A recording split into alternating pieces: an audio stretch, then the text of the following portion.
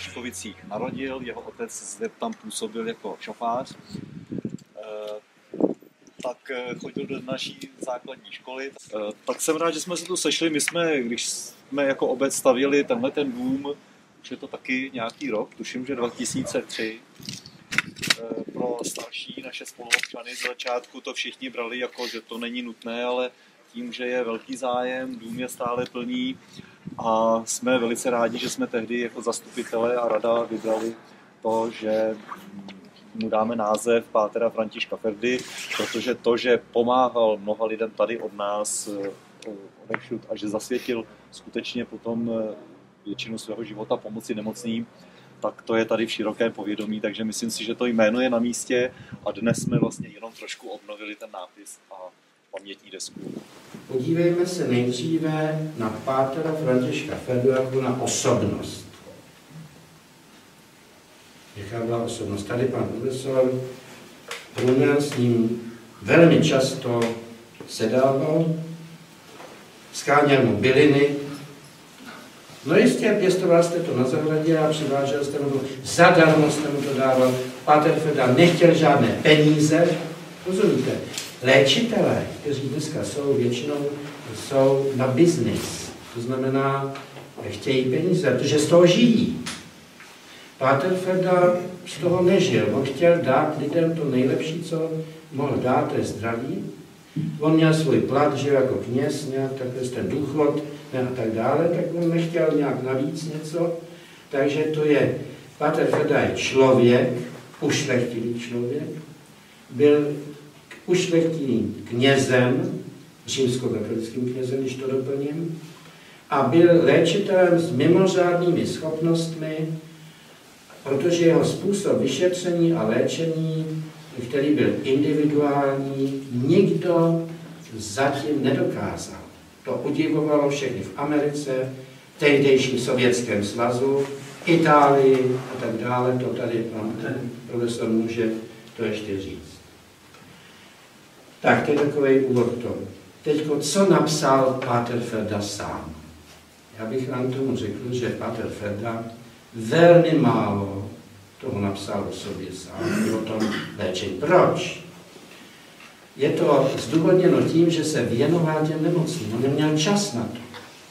Ať pan profesor řekne, kolik lidí tam před tím domkem v Sušici stálo a čekalo na rozhodnutí Pátra Ferdy, to byly velké zástupy, že i ta jeho hospodyně, paní Jiřina Konarovská, musela ty zástupy rozpustit a říct, dnes už ne, prostě jděte domů.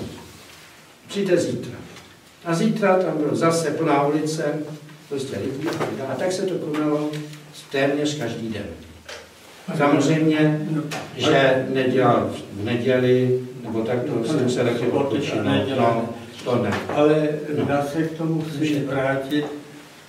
Tam to došlo do takové situace, že ta, ta paní hospodyně jeho už nevěděla, jakým způsobem prostě ty lidi uspokojit, tak udělali takový experiment, že pozvali, nebo tak se to rozneslo, že na celý rok od 1. září do 30.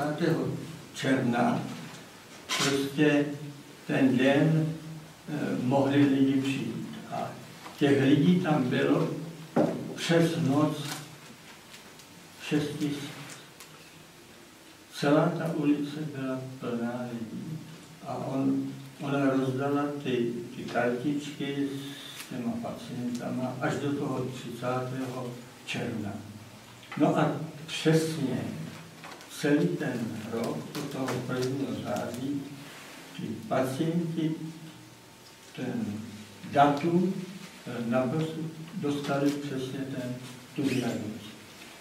No je to strašně vyčerpávající.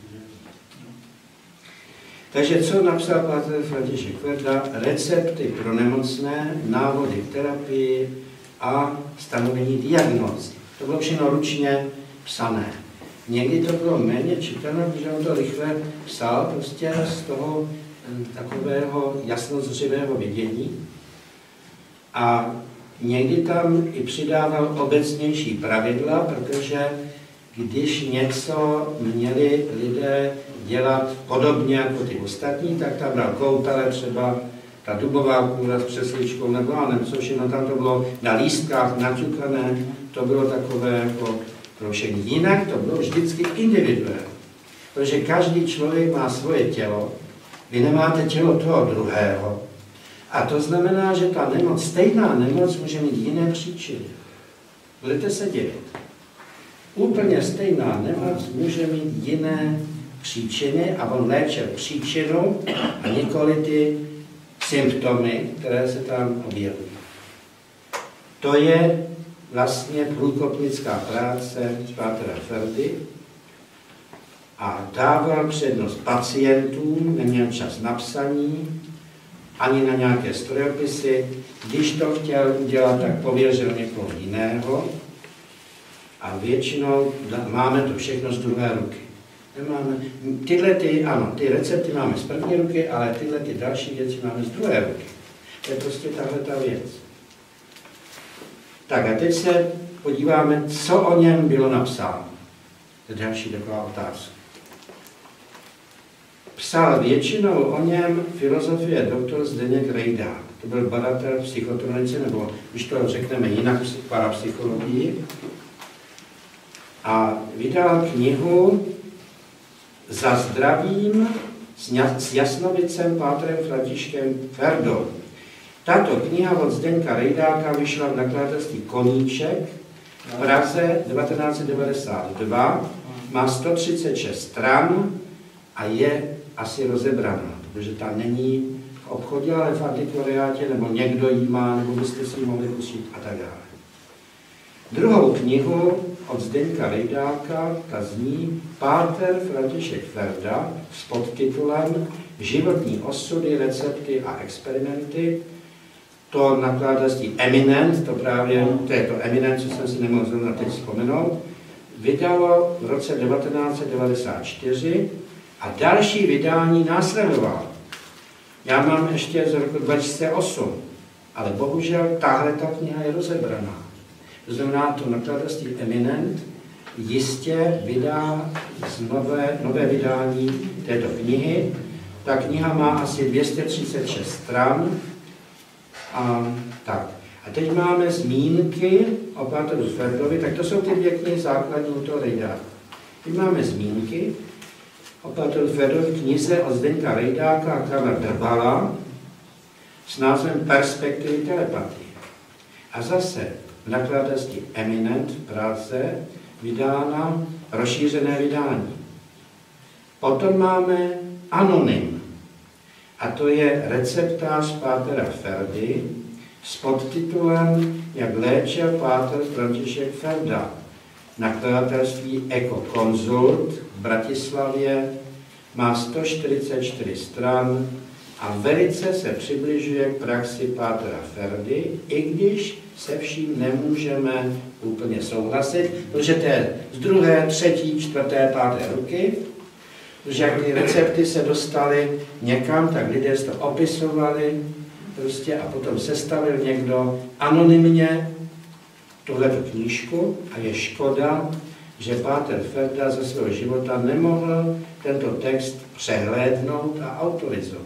To prostě je velká škoda. Ale on věnoval se těm nemocným. On na to neměl čas. On byl tak vyčerpán, budete se divit, když po těch diagnozách a po té terapii večer už byl, tak úplně mu otekla prostě tady krk, že jo, ta tvář nějak taky, že prostě byl velice unaven a musel si odpočinout. A ta hospodyně to jasně dávala najevo, ona byla metr, tak je víte, a říká, už musíte pryč, protože teda se musí odpočinout. To byla zdravotní sestra.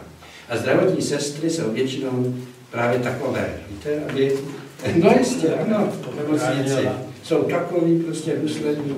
A to, co si vybral docela dobrou, že aby je vlivnovala ty další. Ovšem, samozřejmě Pádru Fedovi to bylo líto, ale nemohl nic dělat, že by nemohl pokračovat, by se zroutil.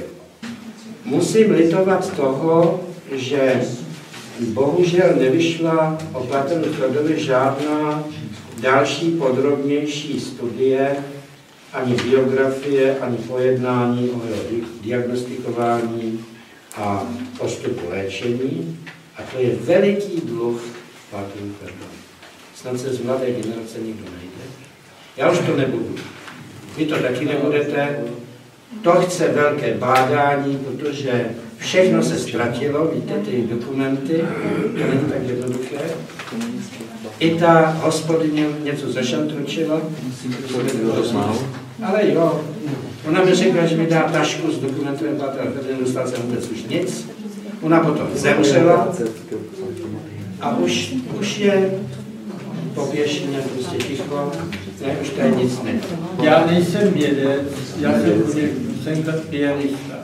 A já jsem se s Pátrem Ferdou seznámil uh, přes manželku a já se přiznám, že to, co mi manželka říkala, ona ho znala asi tři roky ještě dříve, než, jsme se, když jsem se oženil, tak mm, já jsem tomu samozřejmě nevěřil. Pro mě byl prostě pan doktor, vystudovaný medic, prostě něco, na co se já můžu absolutně spolehnout. No a trvalo to nějaký měsíc a Páter Ferda mezi tím, eh, aniž jsem já o tom věděl, tak manželka za ním byla, aby mě nějak přesvědčila, tak požádala Pátera Ferdu, aby udělal na mě diagnozu. Ale já jsem vůbec neměl nic A ten den, kdy mě tu diagnozu přinesla, tak se to stalo. Jo, měl jsem nějaký střední potíže a ona říká mi, tak podívej se, tady máš, dneska jsi měl nějaký takovýhle problémy a já jsem si to tak zvěvně pročet a říkal mu to, no, měl, ale prostě jsem si to nechtěl připustit. A dokonce jsem prostě ve své fantazii, samozřejmě falešný, jsem říkal, no tak hm, asi asi pan Páter ve frontě někde za mnou, já jsem si tam kupoval nějaké hroznový víno a bohužel jsem si ho špatně omyl nebo nedostatečně a měl jsem střední dutničku. A já jsem v tom jeho receptu pardon, měl všechno do detailu napsané. No a to už teda byl takový jako malinký brouček, že jsem zase aby manželka o tom nevěděla, tak jsem tam šel na ten jeden náslech. Já jsem věděl, že jo, kdy rozdává ty recepty, to bylo vždycky pět hodin odpoledne.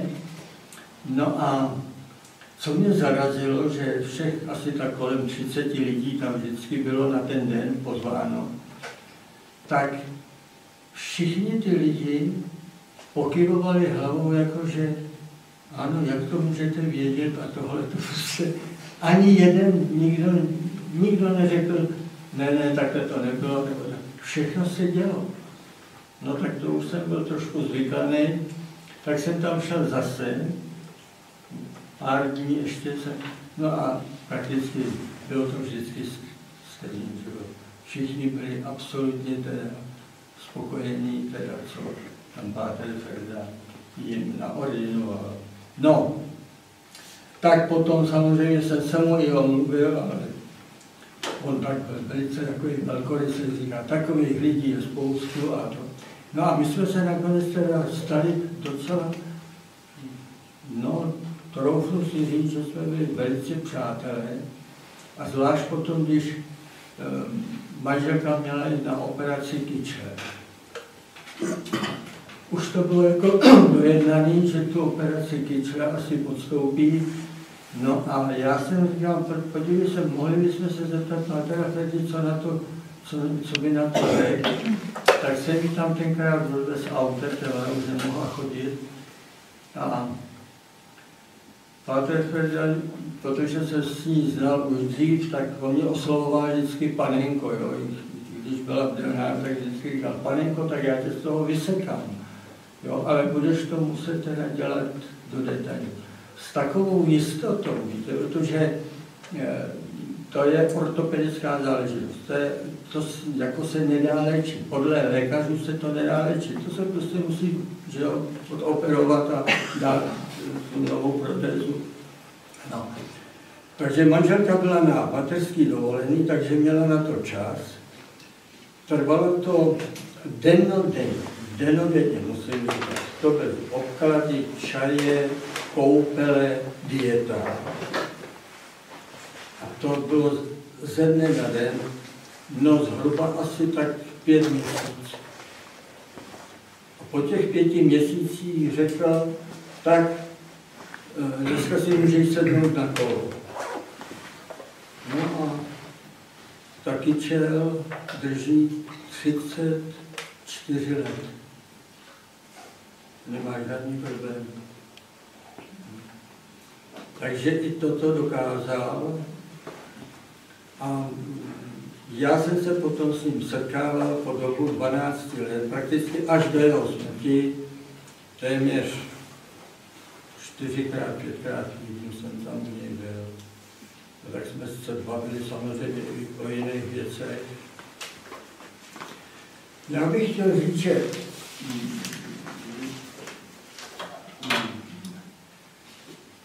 pořad o Páteru Ferdovi, to je tak choulostivá záležitost, ale opravdu choulostivá záležitost, protože ten dar od Boha, co dostal, to je tak neuvěřitelné, že prostě, ať jsou to vzdělaní lidé nebo prostí lidé, prostě to je, je to opravdu obtížné tomu uvěřit. Protože jak já ho poznal za těch 12 let, tak aspoň teda, co já jsem měl možnost, tam nedo, nedošlo k, k nějakému pochybení.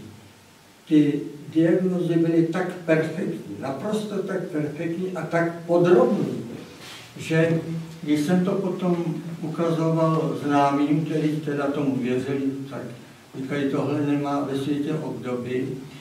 A samozřejmě jsem se párkrát setkal i s panem doktorem Rejdákem, který se o něm vyjadřoval jako o fenomenu stolic. Říkával, že solista na země koule. A to nepřehání. Protože pokud eh, pan doktor Rydák prakticky projezdil celý svět a on právě vyhledával tyhle ty typy lidí, kteří by měli podobné vlastnosti a dospěl k názoru, že k Páteru Fertovi se přiblížili, zdůrazně přiblížili pouze čtyři lidé v minulém století. Byl to Holandián Kroase, potom to byl katolický kněz Pater Klimuško, americký, to on byl, myslím, že trošku postižený eh, fyzicky, Edgar Case a tuším ještě jeden Polák. Takže dva, prostě byli to čtyři, kteří měli teda schopnosti jasnovidětky. Ovšem na té úrovni, jako byl Páter Ferda, říkal, tak to tady tohle století nepoznalo protože Páter Ferda určil perfektní diagnózu, ale on určil něco, co se nedostávalo druhým. Příčiny. Příčiny. A ty příčiny byly mm, tak složité, protože já jsem, když jsem se s tím jednou bavil, tak mi říkal, no, tak v jedné takové velice problematické nemoci se museli až sedm generací zpět. Možná, kdo tomu uvěří, že sedm generací zpět, když si vezmete průměr toho lidského života, teda když vezmu 70 let, to znamená, to bylo 500 let zpět, to, to prakticky nedokáže žádný, žádný lékařský přístroj, to je prostě něco, co, co je dáno, co je prostě dáno. Takže tyhle ty pořady o Páteru Ferdovi, to je opravdu strašně delikátní, delikátní věc. A jedině prostě společnost, která jako má jaksi smysl, nebo prostě věřící lidi, tak to může pochopit. Ale rozhodně jako nevěřící člověk s tím bude mít problémy pořád. je tady ještě jedna velká otázka, na kterou jsem často přemýšlel, proč dává Pán Bůh tento dár většinou duchovním. Proč to nedostal ani jeden lékař? Pokud vím, tak žádný lékař tyto jasnovidné schopnosti neměl. A přece lékař ten by měl nejblíž jo, k tomu léčení a tak dále. E, začátkem prosince mě telefonovali z televize, že by chtěli udělat se mnou pořad o páteru Ferdovi. Ta první televize, to byla nějaká soukromá televize, to jsem okamžitě odmít, protože eh, ti lidé absolutně jako o páteru Ferdovi nevěděli nic, to bylo velice povrchní. A potom mě volala jedna redaktorka z té veřejnoprávní a týkalo se to taky pořadu o páteru Ferdovi a oni to chtěli Oni to chtěli zařadit, možná, že ten pořad znáte, je to nedělní pořad a jmenuje se to Kouzelné blínky. Jestli vám to někdo znáte. Jo. No a tak jsem se opět teda tí paní redaktorky ptal, co z toho z nás o Páteru Ferdovi, jestli prostě má nějaký znát. A ona říkala, no právě jsem si koupila tu vaši knížku, co jsme viděli tady s panem, s panem Farterem píšou. Máte ji tady? A, hm? máte tady. Já mám. Já jsem se trošku pozastavila, že jste se tady vlastně nezmínili. Já bych se na ní zeptala, tady nezmínili, že vyšla vlastně To já jsem ji nezmínil, protože jsem věděl, že tam Miroslav Brunner to bude mít tak. To mi říkal, že to si nemáte já jsem se s tím nějak. No.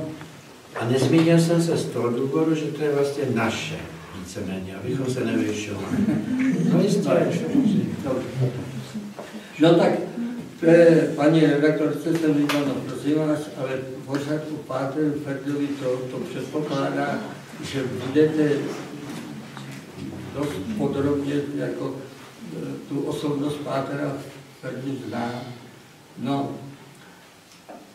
tak eh, ona říkala, no byl to, byl prý to vynikající bylinkář.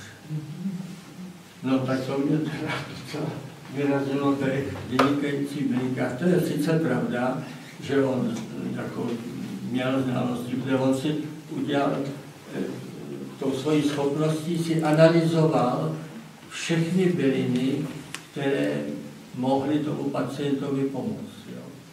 Ale e, já jsem se na ten pořad, na ty kouzelné bylinky díval, ale to by bylo naprosto nedůstojné opravdu vůči tomu páteru takovýhle pořad udělat, protože ta paní, ta moderátorka v tom pořadu e, obchází různé léčitele naše, že jo? A tam to probíhá tak, že se toho léčitele zeptá, prosím vás, mě bolí záda, nebo mě bolí to, to, to, to. A ten léčitel okamžitě, okamžitě dává nějaký, nějaký bylinný čaj, nebo prostě tohle. A aniž jako e, tu dotyčnou osobu by nějakým způsobem teda diagnostikoval. Že? U Pátera Ferdi to bylo naprosto úplně jiný způsob, že nejdřív zjistil, eh, teda, nebo udělal analýzu té nemoci, toho onemocnění, potom udělal příčiny a teprve na základě tohle sestavil čaj. To jinak prostě u něj nefungovalo. Když to tady prostě oni už mají dopředu připravený namíchaný čaje a myslí si, že ten čaj prostě bude účinkovat. No, může samozřejmě, může někomu pomoct, ale x lidí ne, protože každý jsme jiný. A ten Ferna vycházel z toho, že každý jsme jiný. My jsme individuální v tomhle v té léčbě. Tudíž ne, taky těch univerzálních hrad, co, je, co jsou uvedeny tady v té knize, těch je velice málo. Jo. Protože to mm, tam kdyby přišlo, já nevím, 10 lidí, kteří by měli chřipku, tak jsem o tom přesvědčený, že 9 lidí by dostalo naprosto jiný způsob léčení, to je ty příčiny to je právě to, ta výhoda toho Pátra Pedly byla, takže on zjistil, on zjistil příčiny naprosto přesně, co to způsobuje a potom podle toho, že ho dal, dal eh, ten, ten recept na to a způsob, jak to, jak to mají udělat. Proto měl takové úspěchy, protože opravdu to sedělo. To sedělo ty jeho, ty jeho diagnozy, to, něco. To jako když vám, to se, to se nedá zaplatit ničím, to je naprosto, to jsme někde úplně jinde. A léčil zadarmo. Nikdy jsem neslyšel od něj, že by řekl, no tak to nikdy. A pokud teda, když už něco říkal, no tak, tak nám to dejte na kostel. Všechny peníze, a to vím zase od té eh, paní Jiřiny, všechny peníze, které dostal, tak eh, všechno šlo na kostel nebo prostě nějaký církevní. Ale možná to vyšlo spát. To je taky možný, to nevím, ale... No a jak se ty lidi chovali? No já jsem byl svědkem, že, to tady musím říct, že když ten dotyčný pacient zjistil, že nemá rakovinu, tomu, nebo nějakou, nějaký vážný onemocnění, tak jsem viděl, to jsem viděl na vlastní oči, že to roztrhá. A říkal, tak pane faráři, to jsem rád, že nemám rakovinu, děkuji vám na stranu. Tak, tak se chovali. Neocenil to úsilí, které třeba trvalo půl hodiny nebo ještě víc, No, tak to soustředění a tak dále. No a tak, No ale ta, neú, ta neúcta vůbec, nejenom k Páterovi, ale ta neúcta ke svým zdraví.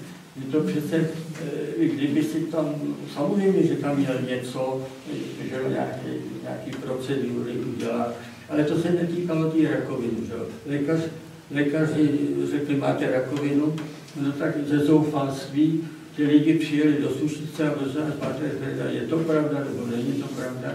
A mnoha případech, které jako se ty lékaři mýlili, to byl nezhoubný nádor.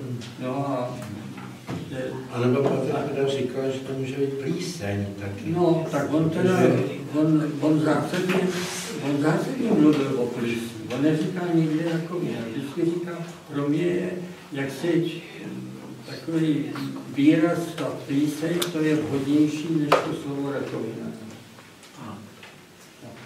Takže mm, to je tak jako, jestli máte ještě nějaký dotazy, já bych vám řekl jenom pár takových těch příhod, co mám, co, mám, co se týkali mě, jako manželky a tak. My máme, manželka má, když léčil tu, tu kyčel, tak má celkem 156 těch receptů. 156. A já s dcerou asi tak dohromady 30, takže my máme téměř 180 receptů. Hodně. Můžu No. tomu něco říct? Ano. Že výhoda je v tom to, že když už máte tyhle recepty a přijde nějaká podobná, můžete to opakovat, protože to je vaše a on se to týká vás. a, a zase se z toho člověk dostane.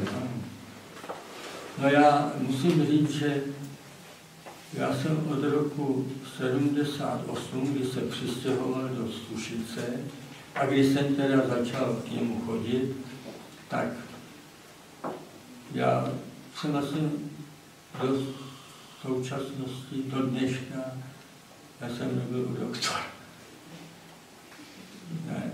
A to tež i dcera, a to tež i manželka jako na tady takový ty interní záležitosti, jako je zápal plic nebo to.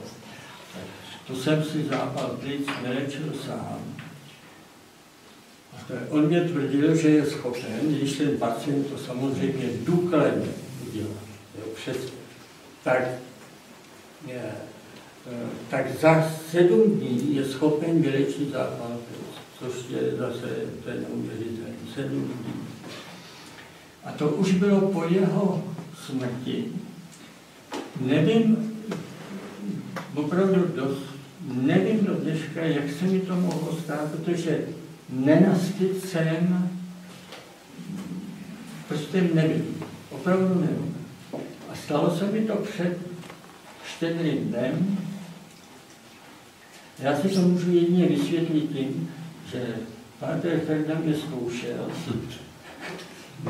když, že když tam, když ho nebudu mít dispozici, tak určitě, že budu chodit doktoru. No tak to, to, to jsem ho asi potěšil. Sice jsem samozřejmě k doktorovi šel, ale jenom, jenom, aby mě, eh, jako to snad oni dokázali, že jsem opravdu ten zápal měl. A bylo to na pohotovosti, to jsem byl na pohotovosti, to je to opravdu, já měl téměř 40 stupňový horečky. A opravdu nevím tedy, jak se tohle mohlo stát. No a ty paní doktorce, která tam byla, já ji neznal ani, ta tam byla asi země jenom na námi, nějaký záskok. Tak jsem mi poděkoval, ty do mě koukala jako, co, co se to děje, říká, prosím vás, ty léky, já jsem říkal, ne, tohle já už si udělám sám. Prostě já jsem se nebavil vůbec, když jsem tak nevím, jak asi, co si o mě myslel. A nejhorší. No, tak. Ale tak jsem začal. Ovšem samozřejmě, ale teď, jestli to bude tohle účinkovat, že zase to bylo to specifické onemocnění. Ale naštěstí jsem se strefil, nebo to bylo řízení ze zhora. Prostě opravdu těch sedm dní mě to trvalo. Ale to jsem byl 24 hodin. V obkladech, čajích, v koupele. Ty koupele to bylo den no den, 24 hodin. Měl jsem tenkrát asi 39 čas, což teda opravdu už bylo hodně kritický. A teď první dva, tři dny se nic nedělo. To bylo pořád prostě tak jako přes těch 39, až teď asi čtvrtý, pátý den. A to už jsem věděl, že už je vyhráno a to už to klesalo. Jo? 37, 38, 37. No a pondělí ráno jsem šel jenom pro kontrolu a to jsem tak jako předstíral mé obvodní lékařce, že mám nějaký jako, jako problém a jestli to náhodou není zápal plic nebo co, tak ona mě vyšetřila a říkala, ne, absolutně více čistý. Nevím. Tak já jsem se přesvědčil, že to je to šlo. A jaká byla ohromná jeho schopnost, vám můžu říct na dalším takovým, to sice nebylo onemocnění, ale jednou jsem přišel a od mě zrovna chvilku von a povídal, já se musím na tebe podívat. Já už jsem tu dlouho ne, ne, nediagnostikoval a, a jestli to trvalo ani ne minutu a povídá mi, ty jsi pracoval s asfaltem. No, no, no máš tam mikroskopické částečky na plicích s asfaltem. No ale potom jsem si vzpomněl, že já jsem byl eh, před půl rokem v Praze a u Národního divadla asfaltovali tu, tu na, na nábřeží tu, tu silnici. No byl tam hrozný kouř a já jsem se potřeboval dostat na most lidí, tak jsem to přeběhl. I když jsem teda měl zaspalý, to, to bylo hrozný. Tak jsem to přeběhl na ten most. No asi zřejmě jsem trošku těch, toho, toho, toho asfaltu se nadýchal. On po půl roce mi řekli, že já mám mikroskopické částečky, tak říkal, tak to si musíš okamžitě dát cibrový obklad na to a tohle bude to pořádku. Tak po půl roce tam tohle to on si zjistil. vyšel jednou článek o něm, ale bylo to po jeho smrti, teda to, tohle bych vám chtěl říct, to, to byla dost taková velice nepříjemná Jakýsi novinář komunistický Karel Pacner. Byl to člověk, který vůbec neměl se zdravotnictvím nic společného. On se zabýval astronautikou a jezdil, známý samozřejmě, jezdil do Sovětského svazu, ale jezdil i do Ameriky, takže byl asi velice dobře zapsaný. A ten po, po smrti Pátera Ferdy, ani ne, asi tak po půl roce, napsal článek, který bohužel jsem si ho nenechal, ale bylo to tak něco drzího, neskutečně, prostě neskutečná lež. Jednalo se e, o jednu paní, ze Sušice byla, a ležela v nemocnici ve Wimberku. Měla rakovinu. A, e, ale bylo to ve stádiu, kdy už se to nedalo prostě léčit. A v té nemocnici se ten, ten personál se k ní choval tak, jako že už prostě to, tak prakticky tam byla tak na pospas, jestli se jí někdo všimne a tak dále.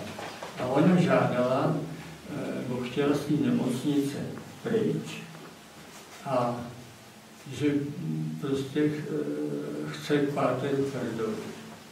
No, tak eh, z té nemocnice propustili a skutečně teda u toho Pátera Ferdu byla, ale on si to ověřil, ne, že to je a on si nemohl dovolit nikoho léčit, eh, kdo by, kde by to bylo beznadějný, protože okamžitě by, by ho zavřeli. Na to se čekalo, že, že udělá nějaký, nějakou chybu a jestli by zavinil dokonce smrt, tak to, to by měl velké problémy. No a oni jako přímo řekli, že by bylo lepší, kdyby byla v té nemocnici. No ale ona by nějak do té nemocnice nechtěla. No ale nakonec teda, myslím si, že jestli v Sušici nebo prostě páté Fedajn jako neléčil, to jako. A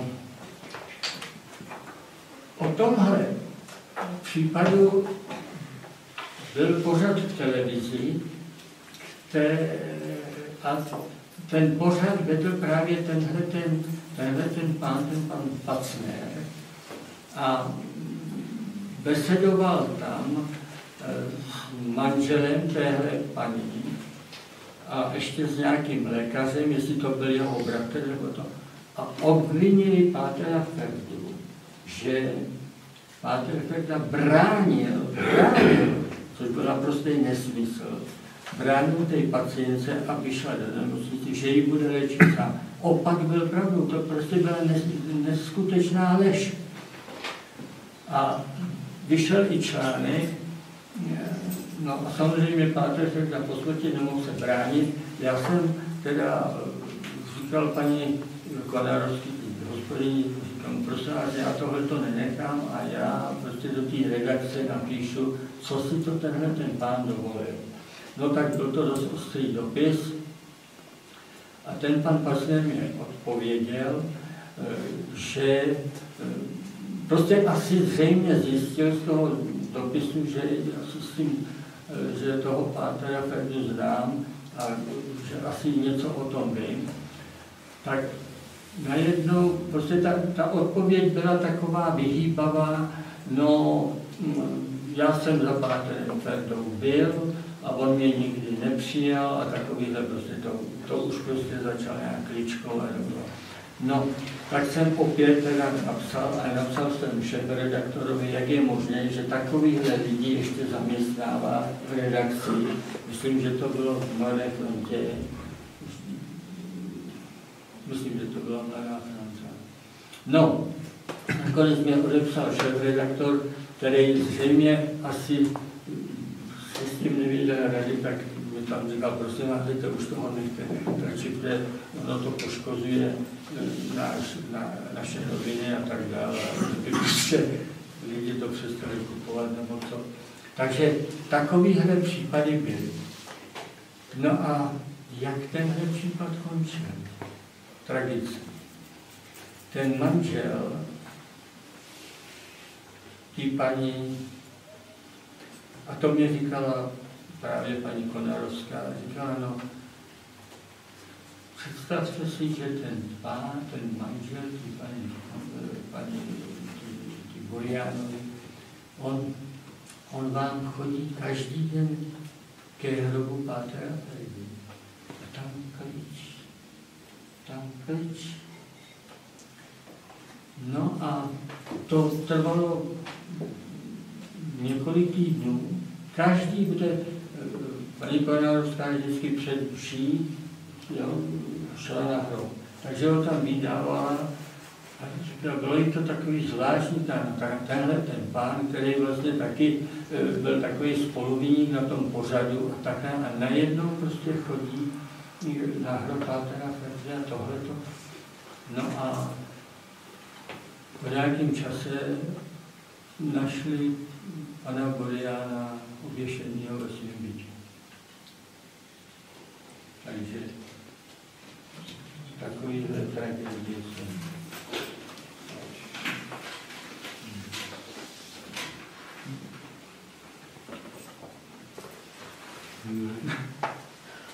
No tak já vám řeknu nějakou veselější.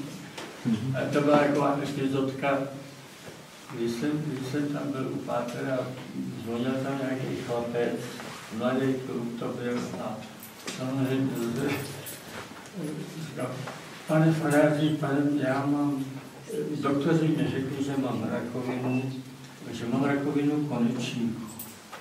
No tak Páter říká, no tak počkej, já se na to podívám. No a no, tak během pěti minut to měl všechno to, i, i mu to tam napsal, všechno co jak. Říkal, no tak rakovina ještě to není, to, ale jako je to v takovém začátku a kdyby e, to pokračovalo nějak bez léčení, tak by to asi dopadlo špatně. No a no tak chlapec samozřejmě byl velice rád, že, že tohle to není.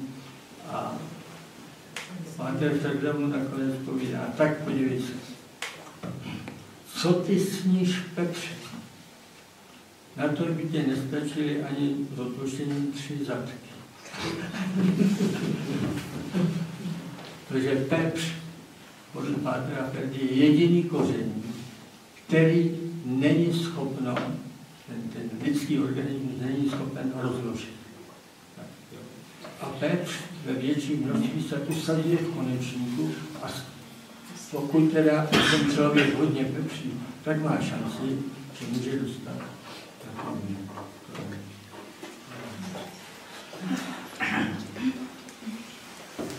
No, takže takových příhod by bylo samozřejmě ještě víc, no, ale taky pátek teda veškeré recepty, co, co psal, je, psal vlastní rukou. Víte, jakou musel mít jistotu? To žádný léčitel nedělá. Ten to buď řekne, nebo má natištěný nějaký takový, ale vlastní rukou, aby napsal komplet jo, tu, tu diagnózu, to si nikdo nedovolil.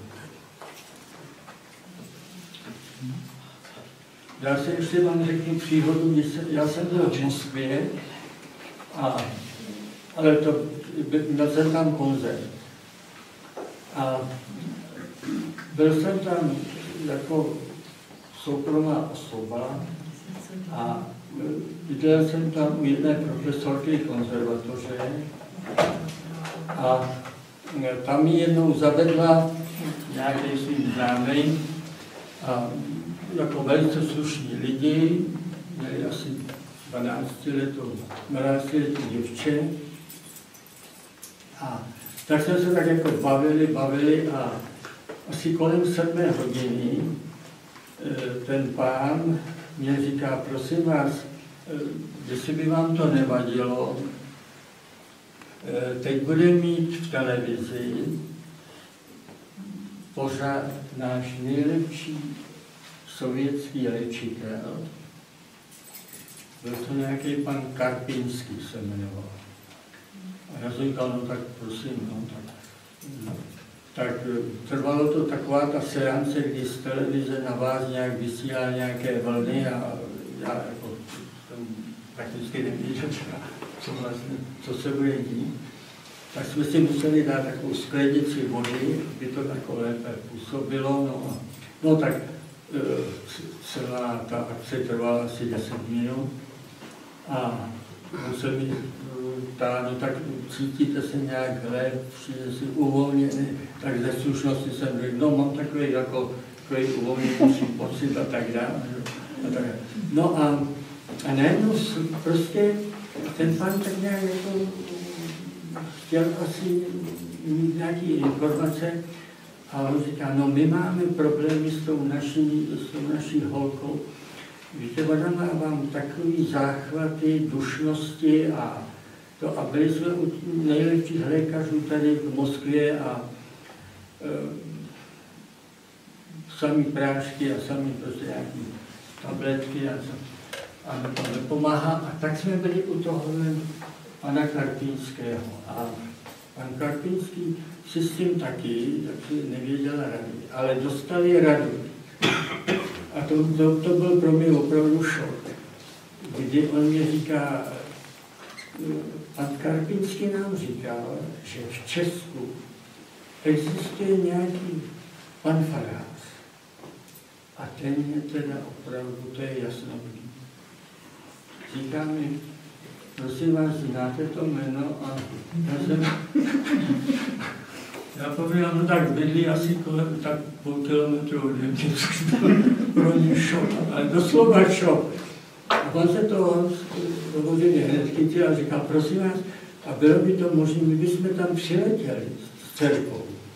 A já říkám, no to nemyslíte, to on dělá na dálku. Cože? To dělá na dálku, je to tři tisíce kilometrů.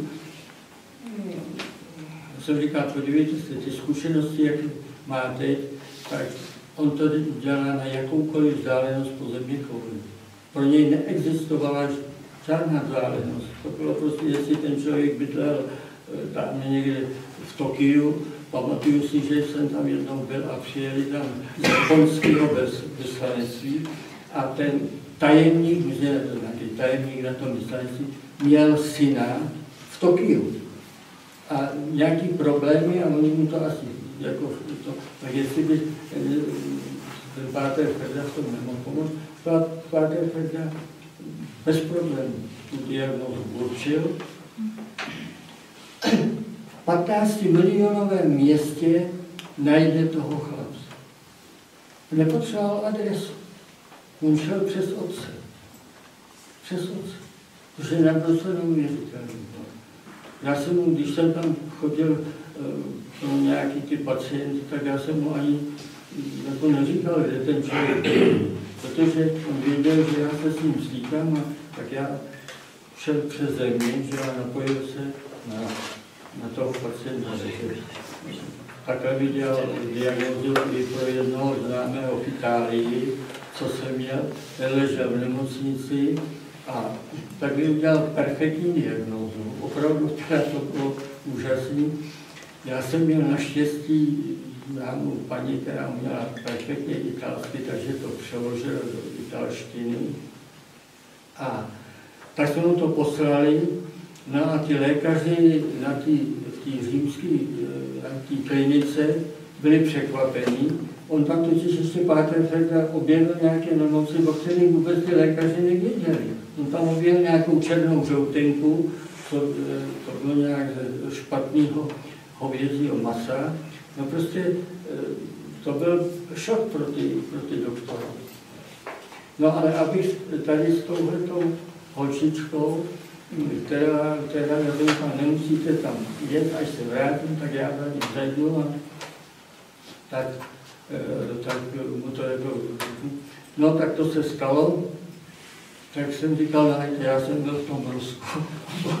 Říká, jak to přežil.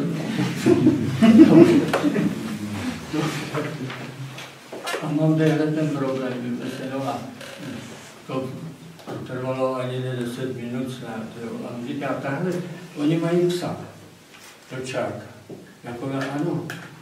No, tak ten pes musí pryč, protože ten má prašivinu. Ta holka s ním spí v posteli. To znamená, veškerý, veškerý to povlíkání, že jo, ty, deky a ty peřiny, to museli všechno zničit, jo. No a napsal co a jak. No a to bylo právě ten problém těch lis. Já totiž to děvče až do bezvědomí se dostával. No a za, asi za dva měsíce jsem dostal zprávu, že holka je v pořádku.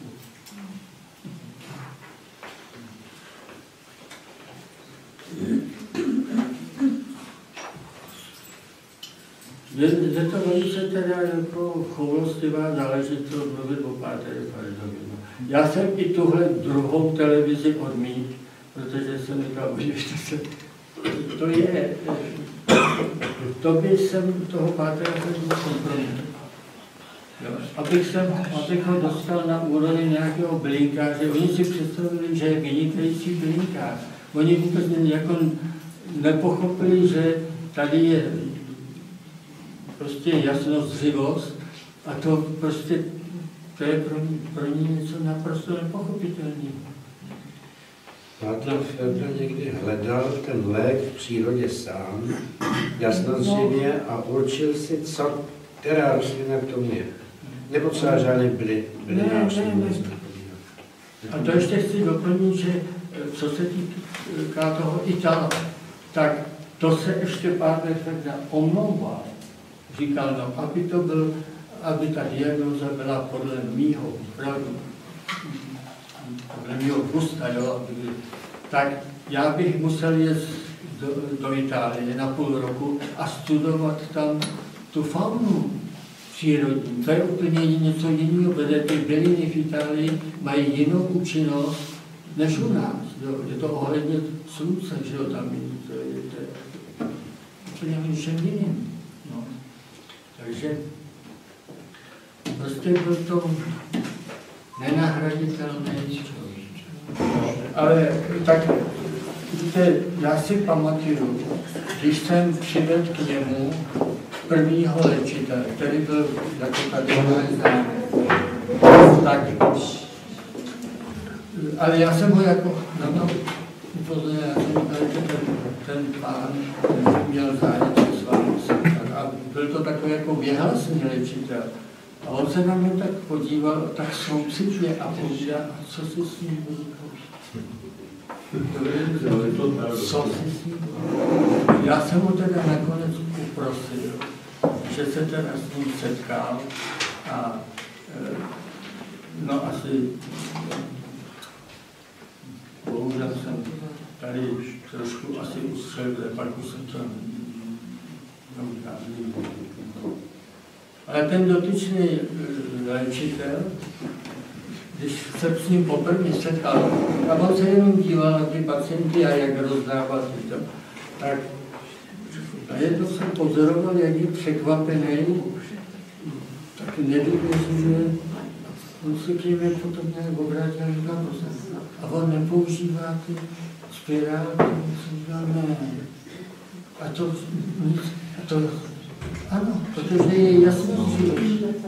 Teprve tam se nazvěl, co to je jasný život, protože ty léčitelé to jsou magnetizéři, že on snímá rukama, že tu bolest, ale prakticky to, to není, to není vyléčené. A pamatuju si, že Páter Fergal mu řekl, prosím vás, když diagnostikujete člověka, který má rakovinu, tímhle způsobem, tak okamžitě pod sprchu pustit si proud vody na sebe. Na, na sebe.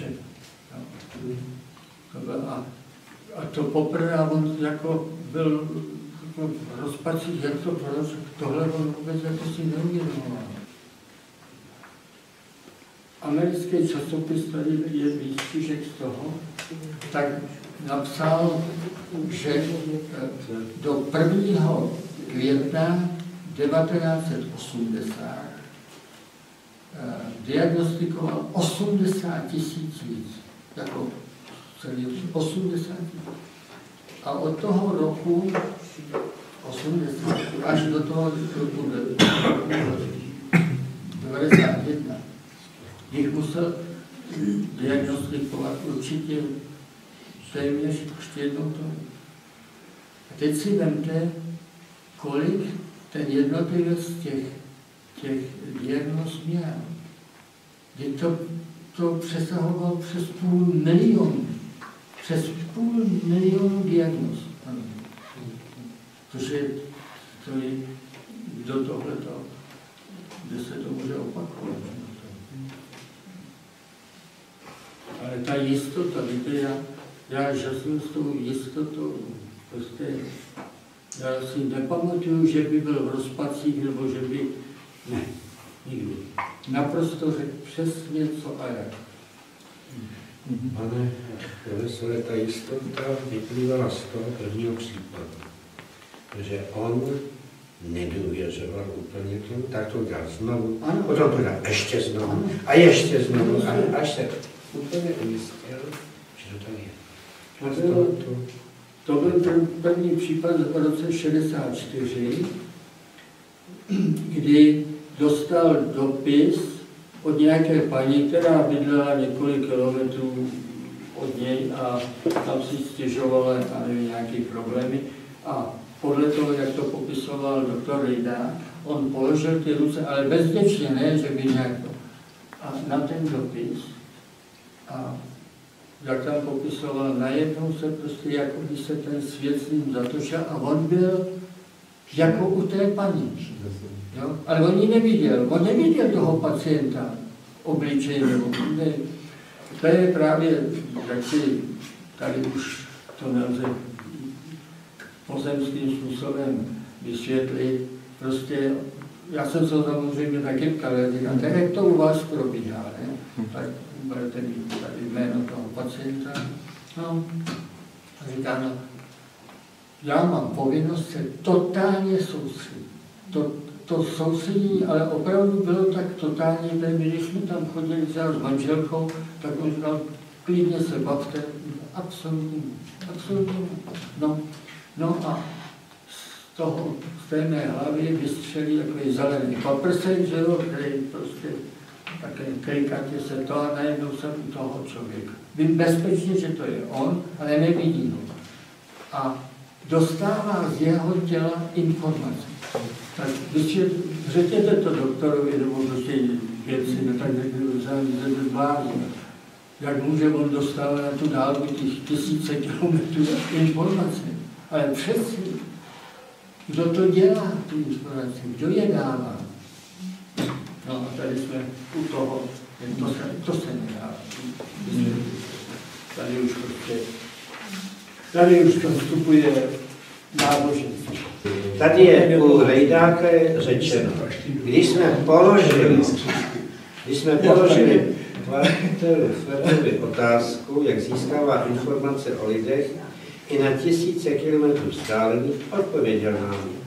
Mám reálný pocit rychle se pohybujícího zeleného paprsku, který hledá cílovou osobu. Jakmile ji najde, paprsek se zastaví a já odečítám informaci o tom konkrétním člověku a jeho zdravotním stavu. No, to je celá, celý ten problém. A Já se chci zeptat ještě, jak se díval Páter Feda na léky, nebo protože musel vědět, jakým způsobem účinkují, jo, neúčinkují, nebo jestli odstraňuje jenom, jenom následek nebo příčinu. A nebo který, který léky třeba Ano. prosazoval, nebo Ne, takové. To nevím. Jako, co se týká lékárny, absolutně nic. On se s tím musel spolu, spolupracovat, protože když ti dal léčení, No tak když já jsem třeba léčila svého syna, tak jsem ty léky musela odpočítávat a v nemocnici si je brát. Já musela jsem léčit podle faráře jako Ferdy, jo? Protože to to nešlo léky a byly mi sebe. Ne, to ne, to No. prostě, to prakticky eh, ten chemický přípravek vlastně negoval účinnost toho přírodu, to, ty byliny. To nebylo možné takhle to kombinovat. Kde máte ten článek, jak se Tady. Těch lécích. Jo. Jo. Ukaž to, je Tady je novin. Světových- důchodci si škodí léky.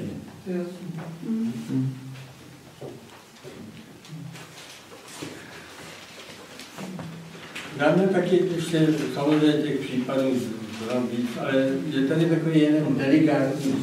Nebudu jmenovat ty lidi, protože ještě nakonec eh, ta dcera žije.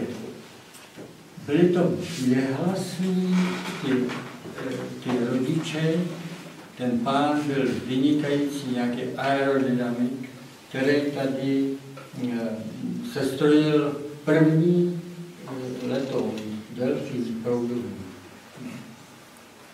A manželka jeho byla zubařka. A ta tady v 50. letech propagovala fluor. Dopad do vody. To bylo moderní a to. No, a měli dceru, která se vdala, měli, měla dva kluky a ten mladší chlapec vám z neznámých důvodů prostě začala ho bolet tady ta sanice, jako tady pana A to není pomene. Ne, ale dopadne to dobře, počkejte. V jeho případě to dopadne Dobře. No, tak samozřejmě babička, že jo, vědecká pracovnice, ona, ne, ona byla ve ústavu stomatologický v Praze, tak eh, prostě samozřejmě chlapec dostal tu nejlepší péči, no ale ono se to, ten stav se zhoršoval. A nakonec mu nějak, myslím, že vytrhli asi dva zuby, a, ale ten stav pořád se zhoršoval.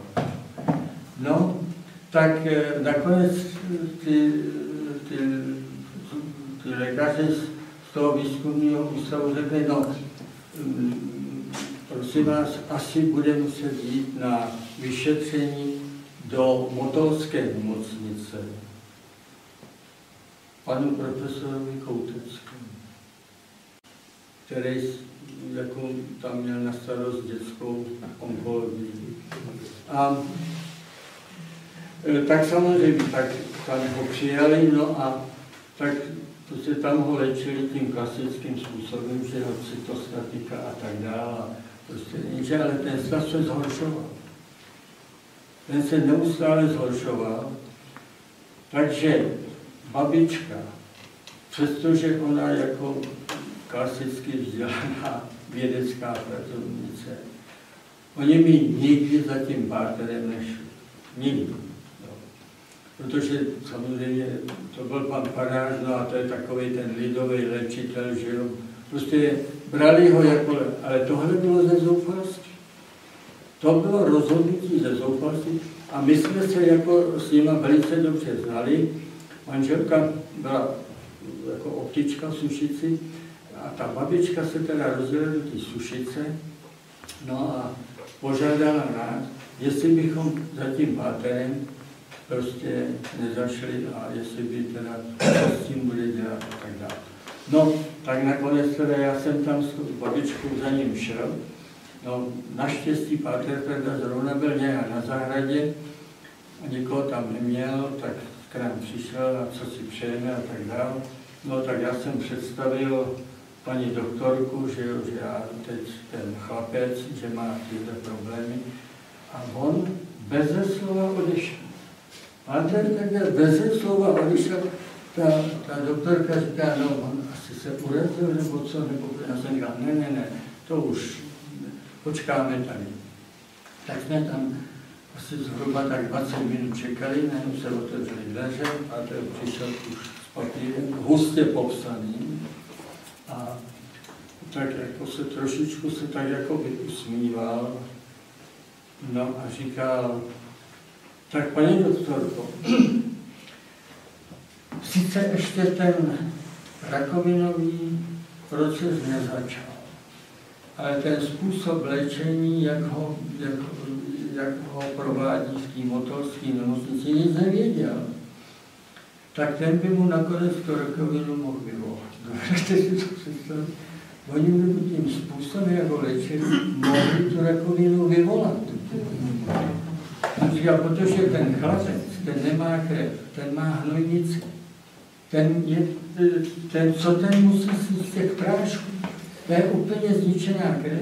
A ta krev, která by měla vyživovat tento postižený místo, tak tam zanáší ještě víc těch nečistot, těch chemických.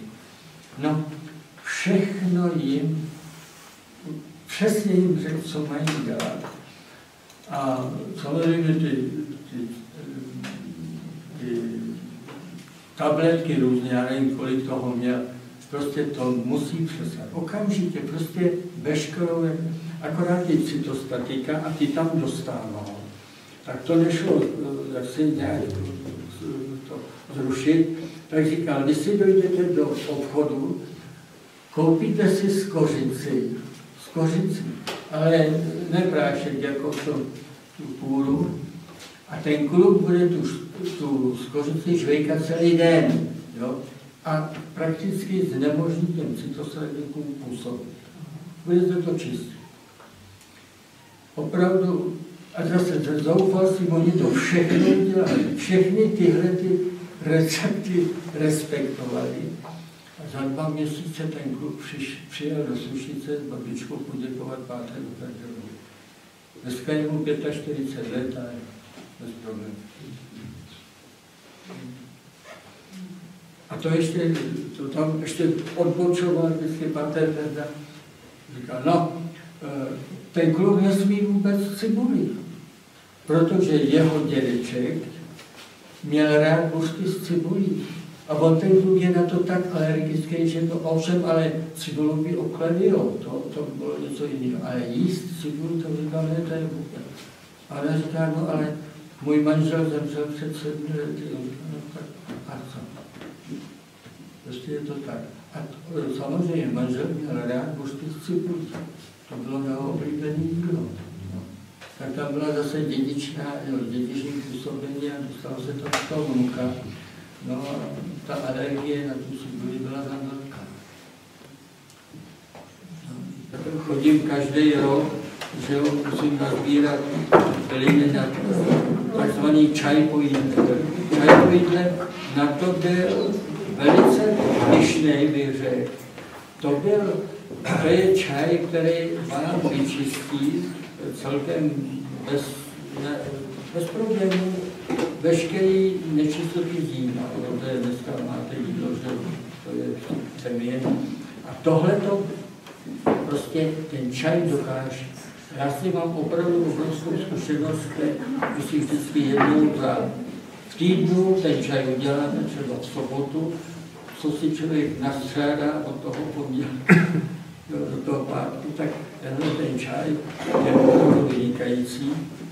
A toho jsem teda nesmírně vážil. To, to vždycky říkal, dávej ho svým přátelům, to si, to si pamatuju, tohle vždycky, dej ho svým přátelům, A ten čaj vznikl vám, to je taky zajímavá historie, před válkou, když už se jako Páter Herda zajímal, on se zajímal o tyhle ty, ty, ty byliny a tak dále, tak eh, chodil jakému si doktorovi Hoffmanovi, který léčil zásadně bylinu. Ten té době prostě odmítal jakoukoliv prostě tablety, prostě zásadně bylina. Takže s ním páter docela dobře rozuměli. A pamatuju si, že mi páter jednou vyprávěl, že za války k němu jezdil a jednou mu přivez, říkal mi, já jsem mu přivez domácí vyuzenou šumu opravdu poctivě. A si užít také jenom kousíček, tak chvíli to tam jazykem, a pak to říká, tohle jíst nebudu. Takhle byl prostě jo, takový asketa na tohle, zásadně jenom byliny. No a ten udělal právě taky čaj po jídle, ale protože samozřejmě neměl tu schopnost toho pátra tak dobře to analyzovat, tak ten čaj se skládal ze 47 bylin. A potom, když zemřel a Páter Ferga dostal tenhle dar, tak se zabýval s tím čajem a on ho zredukoval na 8 bylin a je stejně účinný jako ten, co s těma 40 no. Tak já mám povinnost vždycky 8 bylin získat. To je přes, přesnička, třezalka, truska. Je? Ano, ano. Máte to tady. Je to tady. Čili to je jeden z těch univerzálních návodů, který nemusí být eh, montovaný na, Čaj na jednom speciální pro pojídle. Případ, a to byl případ dívky, která měla zápal mozkových blán a lékaři už prostě to říkali, to je pár dní a to, to, to skončí špatně. A ty rodiče jí teda s ní nemocnice brali a to ještě myslím pátek, tak nebyl v Sušici. To bylo v tom újezdě tam. Ujezdci. Ujezdci, ne? No. A, a ten pátek, ano, páter jí z toho vyleč. Z toho vyleč.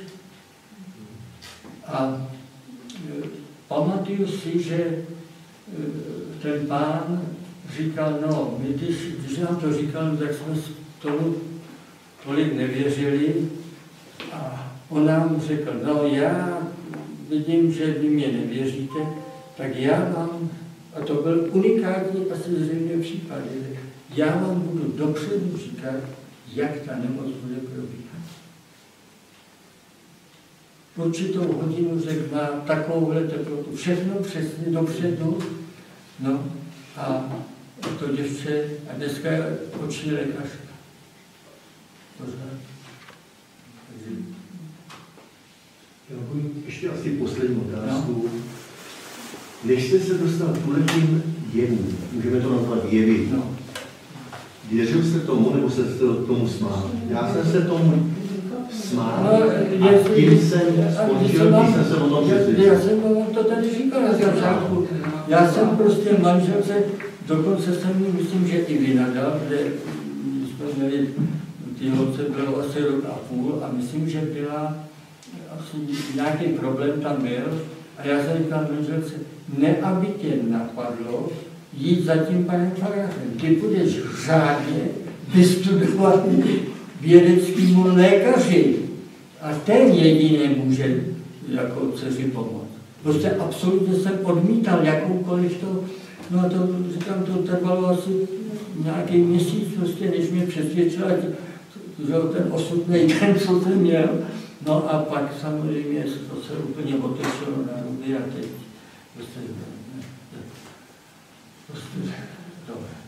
Ne, že bych tu medicínu úplně zatratili, ty lékaři taky za to nemůžou, že tam přijde člověk, který si vyloženě ničí organismus, co ten doktor s tím může dělat, to, to, to, to jako zase se musíme na to dívat. No, to teď, teď obzvlášť se musíme dívat, když nemáme placenou No, ferdu. já, no, ale no tak já nevím, no, jestli mám to štěstí, nebo nějaký, že tady neregnou, ale já jsem opravdu nebyl u lékaře.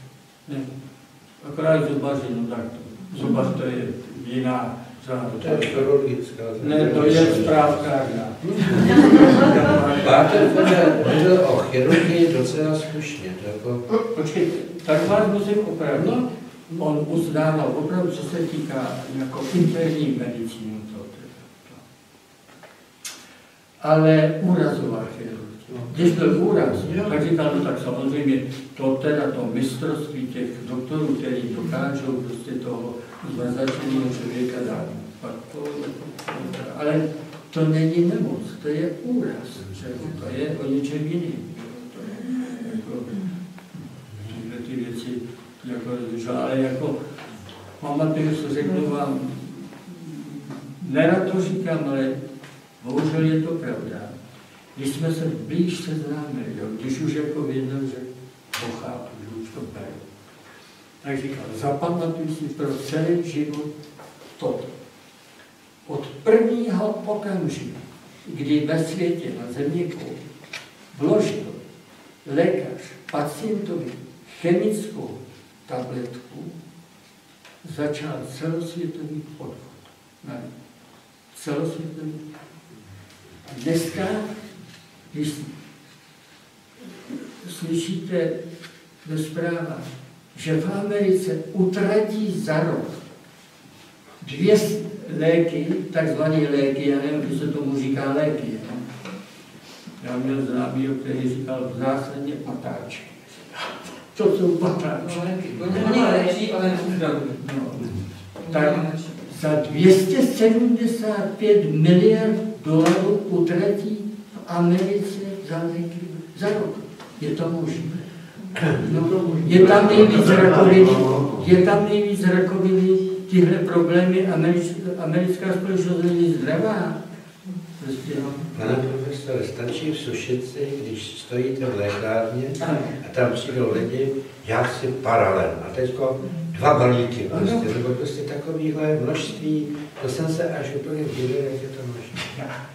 Já jsem teda do zdravotnictví, musím říct, že jsem nenávidím od, od doby pana tady opravdu lékárna pro mě, to když jsem tam šel, tak jedině pro nějaký ten obvaz, jo, když jsem potřeboval, že něco jako to, ale to tež i dcera, i manželka, jo, a i, i z lidí, kteří poctivě opravdu dělali, tak ty mají ušetřeno ty výdaje, kolik to dneska těm, těm lidem stojí, že jo, ty léky.